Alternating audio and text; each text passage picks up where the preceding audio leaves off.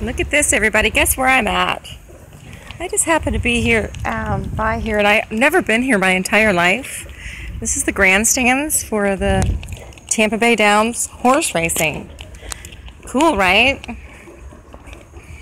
Well, I thought it was kind of cool. It looks like they're putting new flooring in, so I'm going to show you what it looks like here. Look at here. It's pretty big. There's actually a second floor. Tampa Bay Downs. See that? That's where they do the horse racing.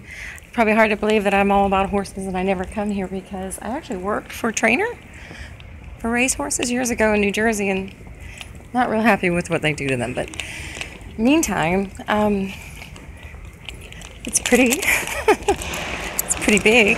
looks like they have a bar here. They have Nathan's they have must be where you buy your tickets to bid on the horses here. Gosh, it's just like in the movies. It's kind of neat. And then I was looking out here. I don't know if it's open. I'm probably not even supposed to be in here right now, but I guess this is where all the fun happens. You can't go out there right now, but there's the track. Can you see it? That's a long way for a horse to run. I'm sorry, but these little horses are athletic. And then, see, Looks like there's some stables in the very back. If you look real, real far back that way. I sure wouldn't mind going to see some race horses, but I bet they don't keep them on the property.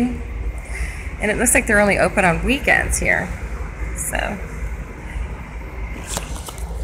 very interesting, right? Kind of cool. I might have to come back and visit. Hmm and it looks like it's only $2.50 to come in.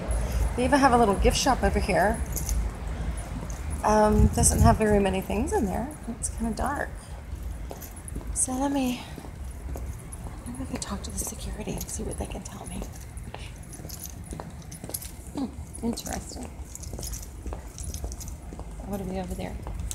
So you guys have a good day. I'm going to try to find the stall. Bye.